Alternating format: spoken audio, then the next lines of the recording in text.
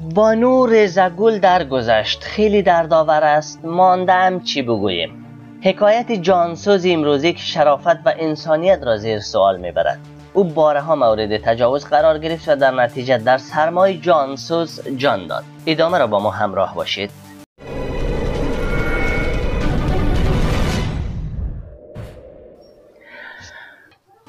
بانوی مریض و روانی از سنگ تفلان از سرده زمستان از تجاوز جاهلان از به روزگار نجات یافت.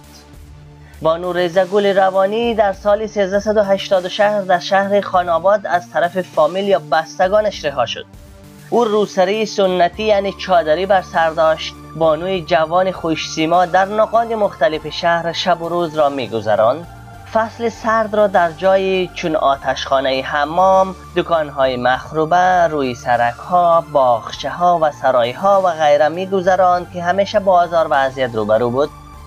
به گفته دکتر رسول تلاش دکتر معالج در شفاخانه پنجاب بستر خاناباد با نور زگول بیش از صدها بار مورد تجاوز جنسی قرار گرفته که پنج بار حمل گرفت سه بار سخت جنین نموده و دو بار طفل به دنیا آورد طفل اولیش در دریای شهرآب غرق شد. طفل دومش هم در آتشخانه حمام از گرسنگی تلف شد و مدت یک هفته جسد طفل به نفسش را با خود در اطراف شهر حمل می‌کرد که توسط مردم در حالت خواب از ایشان گرفتن و دفنش نمودند این بانو همیشه در فراغ نبودن طفلش فریاد می‌کرد و هزیان می‌گفت. او مدت یازده سال را این گونه در این شهر سپری نمود.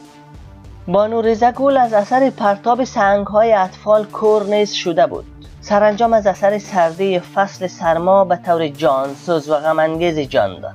روایت ها حاکی است که شاروالی پول کفن او را هم نداده است. این بود روایت رزگول که از دست ما انسان ها و کجاها و چیها که نکشیدند.